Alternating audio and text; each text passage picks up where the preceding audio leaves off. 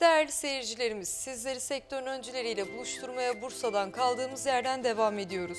Yanımızda organik gıda üzerinde faaliyetlerini sürdüren Tuna Hanım var. Şimdi hep birlikte değerli bilgilerini alacağız. Tuna Hanım öncelikle programımıza hoş geldiniz. Nasılsınız? İyiyim. Siz nasılsınız?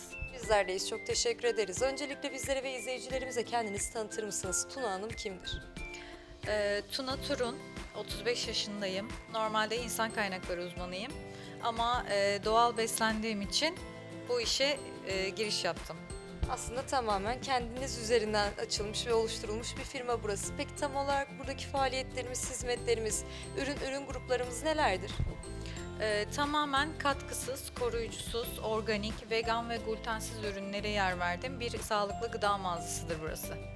Peki burada sadece gıda haricinde aslında birçok ürün daha görüyoruz. Onlar nelerdir? Evet, sağlıklı kafem var. Hem glutensiz atıştırmalıklar yapıyorum hem de e, çocuk giyime yer veriyorum. Aynı zamanda mini oyun alanım var. Peki burada işlerinizi yürütürken sizler nelere dikkat ediyorsunuz? Ee, öncelikle e, seçtiğim ürünlerin e, markalarını ve üretildiği yerlere de en çok dikkat ediyorum. Peki sizleri diğer firmalardan ayıran farkınız nedir Tuna Hanım? Neden tercih edilmelisiniz?